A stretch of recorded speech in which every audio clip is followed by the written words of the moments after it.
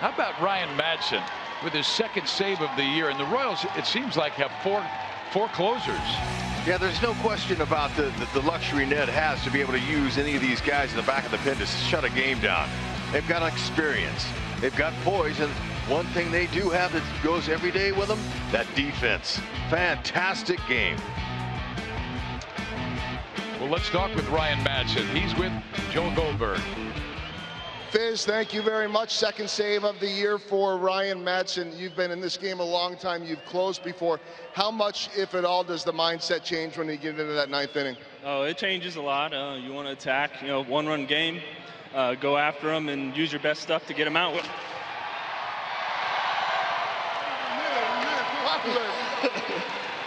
Good job, Salvy. I actually hung in there longer today because I figured you might get fooled and it's really hot out there today. How'd your first Salvador Perez ice bucket feel?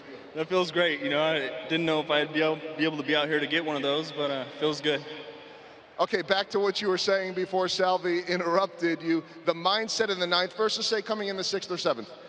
Uh, I guess a little bit more focus and, um, you know, not a lot of room for air. Uh, the hitters are going to be aggressive there and just take advantage of that and uh, just go from there.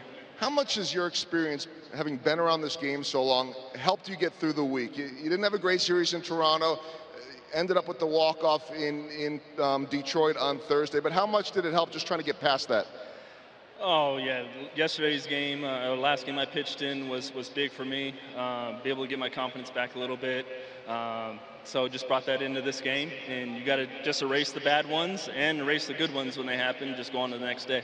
And also, what about the mindset of knowing where the bullpen's at right now? I know Wade Davis is is dealing with the back stiffness. Holland pitched two days in a row. Are you thinking I might close this game?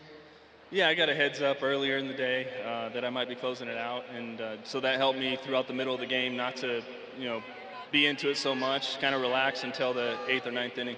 You pitched in on some really good teams and, and a World Series team in Philadelphia. What's it like in front of this packed house every night? Well, it reminds me of the good times there. Uh, we had fans like this every day, and um, they keep coming. We'll keep playing. Great job with the save today, Ryan. All right, thank you. Ryan Madson picking up a huge save as the Royals sweep it. Much more coming up, Viz, on Boulevard Royals Live.